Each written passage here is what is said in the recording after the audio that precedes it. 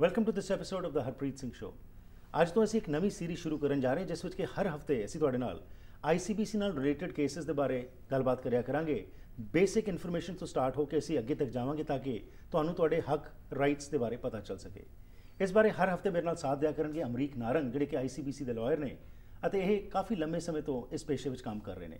ਆਓ ਅੱਜ ਇਹਨਾਂ ਨਾਲ ਗੱਲਬਾਤ ਸ਼ੁਰੂ ਕਰਦੇ ਹਾਂ। ICBC ਦੇ ਸੰਬੰਧ ਵਿੱਚ ਕਿਹੜੀ ਚੀਜ਼ਾਂ ਦਾ ਸਾਨੂੰ ਪਤਾ ਹੋਣਾ ਚਾਹੀਦਾ ਹੈ ਤੇ ਕਿਸ ਤਰੀਕੇ ਨਾਲ ਸਾਡੀਆਂ ਜਿਹੜੇ ਰਾਈਟਸ ਨੇ, ਸਾਡੀਆਂ ਰਿਸਪੌਂਸਿਬਿਲਿਟੀਆਂ ਨੇ ਉਸ ਤੋਂ ਸਾਨੂੰ ਜਾਗਰੂਕ ਹੋਣਾ ਚਾਹੀਦਾ ਹੈ। ਜੀ Anuj welcome to the program thank you Harpreet thank you very much ਕਿੰਨੇ ਸਾਲ ਹੋ ਗਏ ਤੁਹਾਨੂੰ ਇਸ ਫੀਲਡ ਦੇ ਵਿੱਚ? ਮੈਨੂੰ ਜੀ ਲਾ ਡਿਗਰੀ 2001 ਦੇ ਵਿੱਚ ਮਿਲੀ ਹੈ। ਸੋ ਮੈਨੂੰ 13 ਸਾਲ ਹੋ ਗਏ ਹੀ ਕੰਮ ਕਰਦੇ ਨੂੰ। ਓਕੇ ਅੱਛਾ ਅਮਰੀਕ ਬਹੁਤ ਸਾਰੇ ਡਿਫਰੈਂਟ ਫੀਲਡਸ ਨੇ ਜਿਹਦੇ ਵਿੱਚ ਕਿ ਲਾਅ ਨੂੰ ਪ੍ਰੈਕਟਿਸ ਕੀਤਾ ਜਾ ਸਕਦਾ ਹੈਗਾ।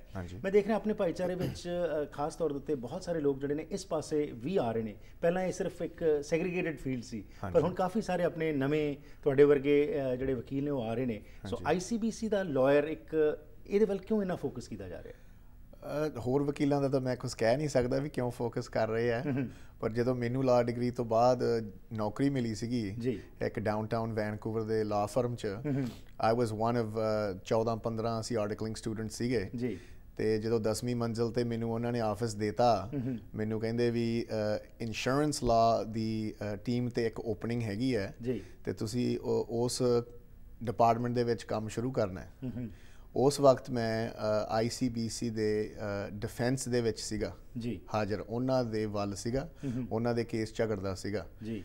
ਉਥੋਂ ਐਕਸਪੀਰੀਅੰਸ ਹੁੰਦਾ ਹੁੰਦਾ ਫਿਰ ਮੈਂ ਵੈਨਕੂਵਰੋਂ ਐਬਸਫੋਰਡ ਆ ਗਿਆ. ਜਿੱਥੇ ਕਿ ਮੇਰਾ ਹੋਮ ਟਾਊਨ ਹੈ। ਜੀ। ਤੇ ਐਬਸਫੋਰਡ ਦੇ ਵਿੱਚ ਵੀ ਮੈਨੂੰ ਇਸੇ ਫਰਮ 'ਚ ਇਹੋ ਜਿਹੇ 'ਚ ਮਿਲੀ ਨੌਕਰੀ ਜਿਹਦੇ ਵਿੱਚ ਉਹਨਾਂ ਨੇ ਮੈਨੂੰ ਆਈਸੀਬੀਸੀ ਦੇ ਫੇਰ ਡਿਫੈਂਸ ਦੇ ਵਿੱਚ ਕੰਮ ਦਿੱਤਾ। ਠੀਕ ਹੈ। ਸੋ ਮੈਂ ਕੋਈ ਮੈਥ ਕੇ ਨਹੀਂ ਲਾ ਸਕੂਲ ਚੋਂ ਆਇਆ ਸੀ ਕਿ ਮੈਂ ਆਈਸੀਬੀਸੀ ਦਾ ਹੀ ਕੰਮ ਕਰਨਾ। ਇਨ. Fact my interest were more along criminal law Okay. And constitutional law Right. ਕਿਉਂਕਿ ਲਾ ਸਕੂਲ ਦੇ ਵਿੱਚ ਕ੍ਰਿਮੀਨਲ ਲਾ ਵੱਲ ਜ਼ਿਆਦਾ ਧਿਆਨ ਦਿੱਤਾ ਜਾਂਦਾ ਪਰ ਮੈਨੂੰ ਕੁਦਰਤੀ ਮੇਰਾ ਨੈਚੁਰਲੀ ਪ੍ਰੋਗਰੈਸ਼ਨ ਕੈਰੀਅਰ ਦਾ ਹੁੰਦਾ ਗਿਆ ਟੁਵਰਡਸ ਆਈਸੀਬੀਸੀ ਰਾਈਟ ਤੇ ਫਿਰ ਅਸੀਂ ਆਪ ਦਾ firm Dhami Narangan company since 2010 ਦੇ ਵਿੱਚ ਖੋਲ ਲਿਆ ਤੇ ਹੁਣ ਅਸੀਂ ਕੇਸ ਸਿਰਫ ਆਈਸੀਬੀਸੀ ਦੇ ਖਿਲਾਫ ਲਈਦੇ ਆ।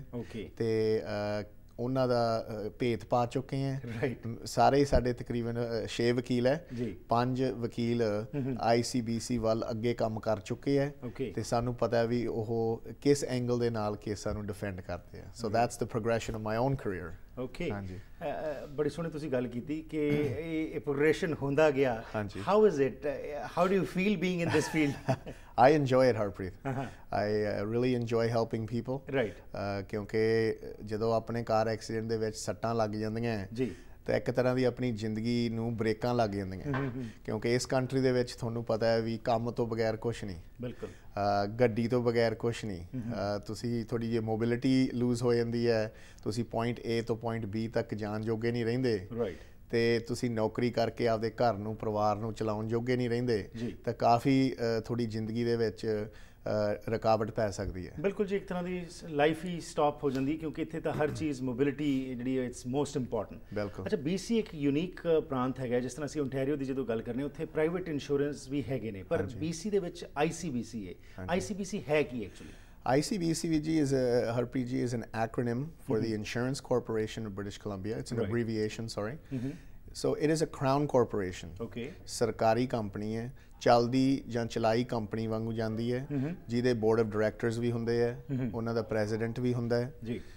ਤੇ ਜਿਹੜੇ ਉਹਦੇ ਪ੍ਰੋਫਿਟੇਬਿਲਿਟੀ ਹੈ ਜਾਂ ਰੈਵਨਿਊ ਸਟਰੀਮ ਹੈ ਉਹ ਹੋਰ ਸਰਕਾਰੀ ਮਹਿਕਮਿਆਂ ਨੂੰ ਪੈਸੇ ਦਿੱਤੇ ਜਾਂਦੇ ਆ ICBC is actually a, a, pretty big money maker for the province ਜਿੰਨੇ ਵੀ ਗੱਡੀ ਚਲਾਉਣੀ ਆ BC ਦੇ ਵਿੱਚ ਉਹਨੂੰ ਬੇਸਿਕ ਇੰਸ਼ੋਰੈਂਸ ਕਮ ਸੇ ਕਮ ICBC ਤੋਂ ਖਰੀਦਣਾ ਪੈਂਦਾ ਹੈ। ਓਕੇ ਤੇ ICBC ਦੀ ਦੇਖੋ ਨੈਟ ਇਨਕਮ ਤਕਰੀਬਨ ਅ, 250 ਮਿਲੀਅਨ ਡਾਲਰ ਹੈਗੀ ਹੈ ਸਾਲ ਦੀ ਓਕੇ ਤੇ ਹੋਰ ਸਰਕਾਰੀ ਮਹਿਕਮੇ ਜਿਵੇਂ ਐਜੂਕੇਸ਼ਨ.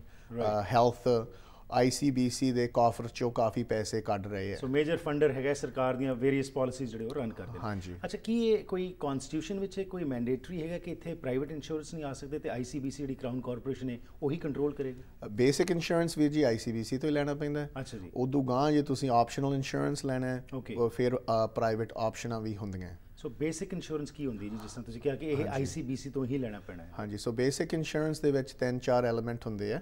ਉਹਦੇ ਬਾਰੇ ਆਪਾਂ ਗੱਲ ਕਰਦੇ ਹਾਂ। ਪਹਿਲਾਂ ਤਾਂ ਆਪਾਂ ਨੂੰ ਸੋਚਣਾ ਚਾਹੀਦਾ ਹੈ ਵੀ ਜਦੋਂ ਤੁਸੀਂ ਆਪਦੇ ਕਸੂਰ ਦੇ ਨਾਲ ਐਕਸੀਡੈਂਟ ਕਰ ਬੈਠਦੇ ਆ ਤਾਂ ਤੁਹਾਨੂੰ ਕੀ ਪ੍ਰੋਟੈਕਸ਼ਨ ਮਿਲਦੀ ਹੈ? ਜੀ।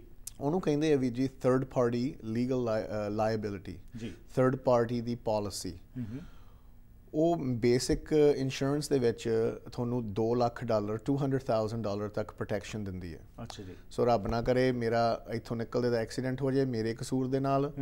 ਜੇ ਮੇਰਾ ਬੇਸਿਕ ਇੰਸ਼ੋਰੈਂਸ ਕੀਤਾ ਹੈ ਤਾਂ ਮੈਂ ਜਦੋਂ ਕਿਸੇ ਦਾ ਨੁਕਸਾਨ ਕਰਤਾ ਆਪਦੇ ਕਸੂਰ ਨਾਲ ਤਾਂ ਮੈਨੂੰ 2 ਲੱਖ ਡਾਲਰ ਤਾਈਂ ICBC ਪ੍ਰੋਟੈਕਸ਼ਨ ਦੇਊਗੀ। ਓਕੇ ਉਹ ਕਿਸੇ ਦੇ ਨੁਕਸਾਨ ਵਾਸਤੇ। ਰਾਈਟ ਕਿਸੇ ਦੇ ਵੀ ਤੇ ਆਪਦੀ ਗੱਡੀ ਦੇ ਨੁਕਸਾਨ ਵਾਸਤੇ ਵੀ। ਬੇਸਿਕ ਇੰਸ਼ੋਰੈਂਸ ਹਰੇਕ ਨੂੰ ਕਰਾਉਣਾ ਪੈਂਦਾ। ਜੀ। ਸੋ ਇਹ ਹੋ ਗਿਆ ਪਹਿਲਾ ਸਟੈਪ ਗਾਂ ਵਾਲੀ ਚੀਜ਼ ਤੁਹਾਨੂੰ ਬੇਸਿਕ ਇੰਸ਼ੋਰੈਂਸ ਮਿਲਦੀ ਹੈ ਆਪਦੀ ਮੈਡੀਕਲ ਓਕੇ ਤੇ ਰੀਹੈਬਿਲਿਟੇਸ਼ਨ ਦੇ ਐਕਸਪੈਂਸਸ ਲਈ। ਮੈਡੀਕਲ ਐਕਸਪੈਂਸਸ ਐਕਸੀਡੈਂਟ ਤੋਂ ਬਾਅਦ ਕਈ ਹੋ ਜਾਂਦੇ ਆ। ਜੀ। ਦਵਾਈਆਂ ਦੇ ਪੈਸੇ ਕਾਇਰੋਪ੍ਰੈਕਟਰ ਮਸਾਜ ਥੈਰੇਪੀ ਫਿਜ਼ੀਓਥੈਰੇਪੀ ਜੀ।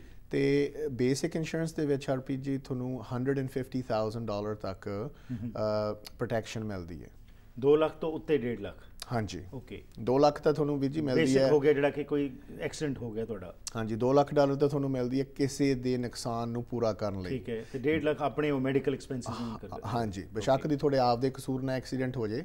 ਇਹ 1.5 ਲੱਖ ਡਾਲਰ ਤੱਕ ਤੁਹਾਨੂੰ ਐਕਸੈਸ ਹੈਗਾ ਪਰ ਇਹਦੇ ਚ ਜਿਹੜਾ ਤੁਸੀਂ ਕਿਹਾ ਮੈਡੀਕਲ ਬੈਨੀਫਿਟਸ ਮਿਲਦੇ ਨੇ ਐਮਐਸਪੀ ਅੰਡਰ ਉਹ ਸਾਰਾ ਕਵਰਡ ਹੁੰਦਾ ਤੇ ਇਹ 1.5 ਲੱਖ ਫਿਰ ਅਲੱਗ ਹੁੰਦੇ ਨੇ ਜੀ? ਹਾਂਜੀ ਵੀਰ ਜੀ ਆਪਣਾ MSP only covers basic expenses ਤੇ ਫਰਜ਼ ਕਰੋ ਫਿਜ਼ੀਓਥੈਰੇਪੀ ਕਾਇਰੋਪ੍ਰੈਕਟਿਕ ਕੇਅਰ ਕੋਈ ਡੈਂਟਲ ਜਾਂ ਕੋਈ ਹੋਰ ਡੈਂਟਲ ਸਾਈਕੀਆਟ੍ਰਿਕ ਮੈਡੀਕੇਸ਼ਨ ਕਈ ਤਰ੍ਹਾਂ ਦੀ ਦਵਾਈ ਹੈ ਜਿਹੜੀ ਐਮਐਸਪੀ ਨਹੀਂ ਕਵਰ ਕਰਦੀ ਹੈ। ਜਾਂ ਕੁਝ ਥੋੜਾ ਪੋਰਸ਼ਨ ਹੀ ਕਵਰ ਕਰਦੀ ਹੈ। ਸੋ ਇਹ 1.5 ਲੱਖ ਡਾਲਰ ਤਾਈਂ ਤੁਹਾਨੂੰ ਪ੍ਰੋਟੈਕਸ਼ਨ ਮਿਲਦੀ ਹੈ। ਠੀਕ ਹੈ ਜੀ। ਹਾਂਜੀ।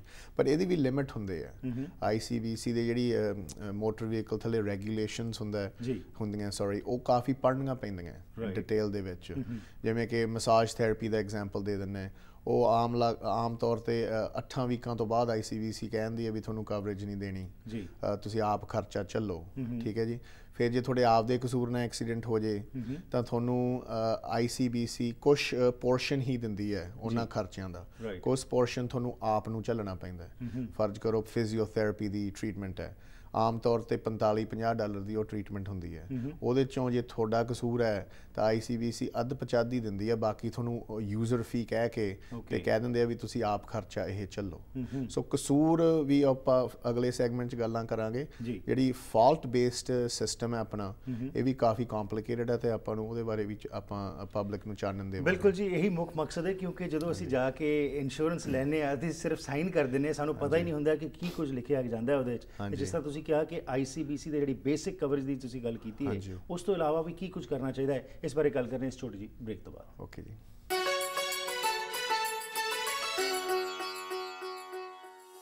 Once again welcome back to the program Amrik Narang ਜਿਹੜੇ ਕਿ ਇੱਕ ਨਾਮਵਰ ਵਕੀਲ ਨੇ ਸਾਡੇ ਨਾਲ ਅੱਜ ਗੱਲਬਾਤ ਕਰ ਰਹੇ ਨੇ। ਬੇਸਿਕ ਇੰਸ਼ੋਰੈਂਸ ਦੇ ਬਾਰੇ ਜਾਣਕਾਰੀ ਤੁਹਾਡੇ ਨਾਲ ਸ਼ੇਅਰ ਕਰ ਰਹੇ ਨੇ ਕਿਉਂਕਿ ਜਦੋਂ ਸਾਨੂੰ ਨੌਲੇਜ ਹੋਏਗੀ ਤਾਂ ਅਸੀਂ ਇੰਪਾਰਡ ਹੋਵਾਂਗੇ। ਇੰਪਾਰਡ ਹੋਵਾਂਗੇ ਤਾਂ ਅਸੀਂ ਸਹੀ ਫੈਸਲੇ ਲੈਣ ਵਿੱਚ ਸਹਾਈ ਹੋਵਾਂਗੇ। ਅੱਜ ਅਸੀਂ ਗੱਲਬਾਤ ਕਰ ਰਹੇ ਹਾਂ ਬੇਸਿਕ ਅਬਾਊਟ ਆਈਸੀਬੀਸੀ ਜਿਸ ਤਰ੍ਹਾਂ ਇਹਨਾਂ ਨੇ ਦੱਸਿਆ ਬ੍ਰੇਕ ਤੋਂ ਪਹਿਲਾਂ ਕਿ ਕਰਾਊਨ ਕਾਰਪੋਰੇਸ਼ਨ ਹੈ ਮਿਨਿਸਟਰ ਆਫ ਪਬਲਿਕ ਸੇਫਟੀ ਜਿਹੜੇ ਨੇ ਇਸ ਨੂੰ ਓਵਰਸੀ ਕਰਦੇ ਨੇ ਅਤੇ ਜਿਹੜਾ ਪ੍ਰੋਫਿਟ ਬਹੁਤ ਜ਼ਿਆਦਾ ਜਿਹੜਾ ਹੁੰਦਾ ਹੈ ਸਰਕਾਰ ਨੂੰ ਇਸ ਆਰਗੇਨਾਈਜੇਸ਼ਨ ਤੋਂ ਮਿਲਦਾ ਹੈ ਜਿਹੜਾ ਕਿ ਉਹ ਫਰਦਰ ਹੈਲਥ ਜਾਂ ਐਜੂਕੇਸ਼ਨ ਦੇ ਉੱਤੇ ਲਾਉਂਦੇ ਨੇ ਨਾਲ ਨਾਲ ਸਾਡੇ ਕੀ ਰਾਈਟਸ ਨੇ ਸਾਨੂੰ ਕੀ ਪਤਾ ਹੋਣਾ ਚਾਹੀਦਾ ਜਦੋਂ ਅਸੀਂ ਇੰਸ਼ੋਰੈਂਸ ਕਰਵਾ ਰਹੇ ਹਾਂ? ਇਸ ਬਾਰੇ ਇਹਨੇ ਬੇਸਿਕ ਦੀ ਗੱਲ ਕੀਤੀ ਸੀ। ਆਓ ਕੁਝ ਹੋਰ ਗੱਲਬਾਤ ਕਰਦੇ ਹਾਂ। ਸੋ ਜਿਸ ਤਰ੍ਹਾਂ ਤੁਸੀਂ ਬੇਸਿਕ ਦੀ ਦੱਸਤੀ 2 ਲੱਖ ਦੀ ਕਰਤੀ ਉਸ ਤੋਂ ਬਾਅਦ 1.5 ਲੱਖ ਦਾ ਦੱਸਿਆ ਕਿ ਇਹ ਮੈਡੀਕਲ ਬੈਨੀਫਿਟਸ ਲੈ ਸਕਦੇ ਹੋ। ਅੱਛਾ ਇੱਕ ਹੋਰ ਹੁੰਦੀ ਇੰਸ਼ੋਰੈਂਸ ਜਿਸ ਨੂੰ ਕਹਿੰਦੇ ਨੇ ਜੀ ਕਿ ਇਹ ਅੰਡਰ ਇੰਸ਼ੋਰਡ ਮੋਟਰਿਸਟ ਪ੍ਰੋਟੈਕਸ਼ਨ ਕੁਝ ਐਸ ਵੀ ਹੁੰਦੀ ਉਹ ਕੀ ਚੀਜ਼ ਹੁੰਦੀ ਹੈ ਜੀ? ਹਾਂਜੀ ਹਰਪ੍ਰੀਤ ਉਹ ਆਪਾਂ ਨੂੰ ਬੇਸਿਕ ਇੰਸ਼ੋਰੈਂਸ ਦੇ ਵਿੱਚ ਮਿਲਦੀ ਹੈ। ਅੰਡਰ ਇੰਸ਼ੋਰਡ ਮੋਟਰਿਸਟ ਪ੍ਰੋਟੈਕਸ਼ਨ ਤੁਹਾਡੇ ਆਪ ਦੇ ਪ੍ਰੋਟੈਕਸ਼ਨ ਲਈ ਤਾਂ ਗਿਣੀ ਜਾਂਦੀ ਹੈ।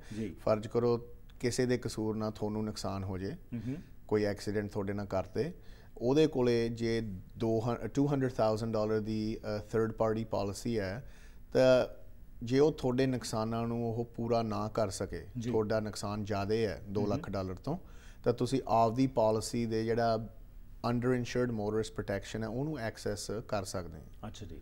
ਇਹਨੂੰ ਕਹਿੰਦੇ ਆ UMP. UMP okay basic insurance ਦੇ ਵਿੱਚ ਇਹ ਮਿਲੀਅਨ ਡਾਲਰ ਦੀ ਅੰਪ ਹੈ।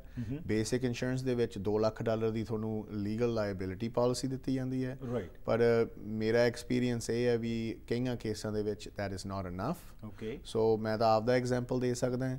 I'm a lawyer I have other lawyers that sit in the vehicle with me right ਰੱਬ ਨਾ ਕਰੇ ਮੇਰਾ ਐਕਸੀਡੈਂਟ ਹੋ ਜੇ ਮੇਰੇ ਕਸੂਰ ਦੇ ਨਾਲ। ਹੋਰ ਵਕੀਲ ਜੇ ਮੇਰੇ ਨਾਲ ਬੈਠੇ ਆ ਉਹ ਜੇ ਮੇਰੇ ਤੇ ਦਾਵਾ ਕਰਦੇ ਆ ਤਾਂ ਤੁਸੀਂ ਆਪ ਹੀ ਸੋਚ ਲਓ ਵੀ 2 ਲੱਖ ਡਾਲਰ ਤਾਂ ਬਹੁਤ ਘੱਟ ਹੈ ਸੋ ਮੇਰਾ ਖੁਦ ਆਪਦੀ ਗੱਡੀ ਦਾ ਤਾਂ 5 ਮਿਲੀਅਨ ਡਾਲਰ ਕਰਾਇਆ ਪਿਆ। ਮੈਂ ਉਹ ਨਹੀਂ ਮੈਂ ਉਹ ਨਹੀਂ ਕਹਿੰਦਾ ਵੀ ਸਾਰੇ ਇਹੀ ਕਰਾਉਣ। Right according to the needs ਜਿਹੜਾ ਉਹ ਹੋ ਸਕਦਾ ਇਹਦੇ ਬਾਰੇ ਵੀ ਅਸੀਂ ਆਉਣ ਵਾਲੇ ਪ੍ਰੋਗਰਾਮਸ 'ਚ ਗੱਲ ਕਰਾਂਗੇ। ਪਰ ਤੁਸੀਂ ਇੱਕ ਹੋਰ ਜਿਹੜੀ ਇੰਪੋਰਟੈਂਟ ਗੱਲ ਕਹੀ ਕਿ ਗੱਡੀ 'ਚ ਬੈਠਾ ਹੋਇਆ ਵਿਅਕਤੀ ਜਿਹੜਾ ਤੁਹਾਡੇ ਨਾਲ ਹੈਗਾ ਉਹ। ਤੁਹਾਨੂੰ ਸੂ ਕਰ ਸਕਦਾ ਜੇਕਰ ਤੁਹਾਡਾ ਐਕਸੀਡੈਂਟ ਹੋ ਜਾਏ ਤੁਹਾਡੀ ਗਲਤੀ ਕਾਰਨ? ਬਿਲਕੁਲ ਵੀਰ ਜੀ ਹਾਂਜੀ। So okay we'll talk about this in our coming programs also. ਅੱਛਾ ਇੱਕ ਹੁੰਦੀ ਜੀ ਨੋ ਐਕਸੀਡੈਂਟ ਬੈਨੀਫਿਟ ਕੋਈ ਹੁੰਦਾ ਹੈਗਾ ਉਹ ਕੀ ਹੁੰਦਾ ਹੈਗਾ? ਹਾਂਜੀ ਬੇਸਿਕ ਇੰਸ਼ੋਰੈਂਸ ਦੇ ਵਿੱਚ ਤੁਹਾਨੂੰ ਇੱਕ ਹੋਰ ਫਾਇਦਾ ਹੋ ਜਾਂਦਾ ਹੈ। ਜੇ ਤੁਹਾਡੇ ਕਸੂਰ ਨਾਲ ਵੀ ਬੇਸ਼ੱਕ ਦੀ ਐਕਸੀਡੈਂਟ ਹੁੰਦਾ ਹੈ। ਤਾਂ ਤੁਸੀਂ ਜੇ ਕੰਮ ਤੋਂ ਡਿਸੇਬਲਡ ਹੋ ਜਾਂਦੇ ਆ। ਤਾਂ ਤੁਹਾਨੂੰ up to a maximum of 300 dollars a week ਜੀ। ਟੋਟਲ ਟੈਂਪਰੇਰੀ ਡਿਸੇਬਿਲਿਟੀ ਬੈਨੀਫਿਟ ਦਿੱਤੇ ਜਾਂਦੇ ਆ। ਓਕੇ ਉਹਦੇ ਵੀ ਕਈ ਕਲਾਜ਼ ਹੁੰਦੇ ਆ ਜਿਹੜੀ ਕਿ ਕੁਆਲੀਫਿਕੇਸ਼ਨ ਕਲਾਸ ਕਹਿ ਲਓ। ਉਹ ਇਹ ਹੁੰਦੇ ਆ ਵੀ ਜਦੋਂ ਤੁਸੀਂ ਐਕਸੀਡੈਂਟ ਕਰ ਬੈਠਦੇ ਆ ਉਸ ਵਕਤ ਤੁਹਾਨੂੰ ਇੱਕ ਗੇਨਫੁਲੀ ਤੁਸੀਂ EMPLOYED ਹੋਣੇ ਚਾਹੀਦੇ ਆ। ਤੁਹਾਨੂੰ ਨੌਕਰੀ ਉਦੋਂ ਉਸ ਵਕਤ ਹੋਣੀ ਚਾਹੀਦੀ ਹੈ। ਠੀਕ। ਪਹਿਲੀ ਗੱਲ ਜੇ ਨੌਕਰੀ ਉਸ ਵਕਤ ਹੈ ਨਹੀਂ ਤਾਂ ਉਸ ਐਕਸੀਡੈਂਟ ਡੇਟ ਤੋਂ 1 ਸਾਲ ਪਹਿਲਾਂ 52 ਵੀਕਾਂ ਦੇ ਵਿੱਚ ਤੁਹਾਨੂੰ 6 ਮਹੀਨੇ ਲਗਾਤਾਰ ਕੰਮ ਕਰਦਿਆਂ ਨੂੰ ਹੋਣਾ ਚਾਹੀਦਾ ਹੈ। So. You should have been working for 6 months if you meet those uh, criteria ਫਿਰ ਤੁਹਾਨੂੰ ਟੋਟਲ ਟੈਂਪਰੇਰੀ ਡਿਸੇਬਿਲਿਟੀ ਬੈਨੀਫਿਟ ਵੀ ਮਿਲ ਸਕਦੇ Okay. ਪਰ ਉਹ ਤਾਂ ਮਿਲਦੇ ਆ ਜੇ ਤੁਹਾਡੇ ਕੋਲੇ ਕੋਈ ਹੋਰ ਰਿਸੋਰਸ ਹੈ ਨਹੀਂ ਕੋਈ ਹੋਰ ਅ, ਸਾਧਨ ਹੈ ਨਹੀਂ ਬੈਨੀਫਿਟ ਲਈ। ਉਹ ਰਿਸੋਰਸ ਕਿਹੜੇ ਹੁੰਦੇ ਆ? ਇੱਕ ਤਾਂ ਸਿਕਨੈਸ ਆਪਾਂ ਨੂੰ ਮਿਲ ਸਕਦੀ ਹੈ। ਅਨਐਮਪਲੋਇਮੈਂਟ ਇੰਸ਼ੋਰੈਂਸ ਜਿਹੜੀ ਬੈਨੀਫਿਟ ਸਿਕਨੈਸ ਬੈਨੀਫਿਟ ਜਿਹਨੂੰ ਕਹਿੰਦੇ ਆ।